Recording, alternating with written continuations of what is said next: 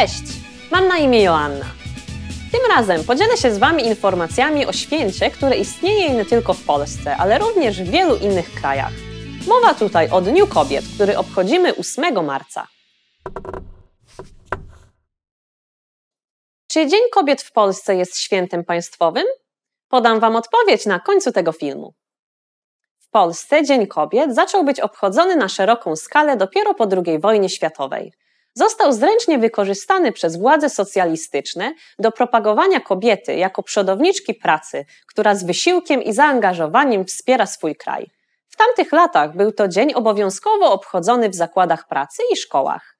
Kobiety otrzymywały wtedy goździki i produkty ogólnie trudno dostępne, jak na przykład rajstopy, ręczniki i kawę.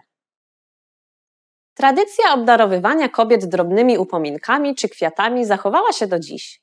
Obecnie najpopularniejszym prezentem jest tulipan.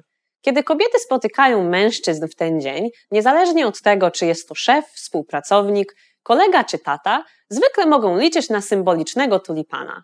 Jest to bardzo miły gest, niepraktykowany jednak przez wszystkich. Niektórzy uważają bowiem Dzień Kobiet za socjalistyczny przeżytek i nie obchodzą go.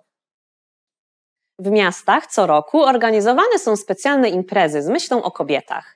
Można więc spędzić ten dzień trochę inaczej niż zwykle i wybrać się na jeden z licznych koncertów czy spektakli, wystawianych tylko w dzień 8 marca. Wiele centrów handlowych organizuje warsztaty, przeróżne pokazy, np. makijażu, kąciki z poradami od stylistów czy ekspertów w dziedzinach zdrowia i urody. Królują również konkursy i szanse na wygranie bonów towarowych.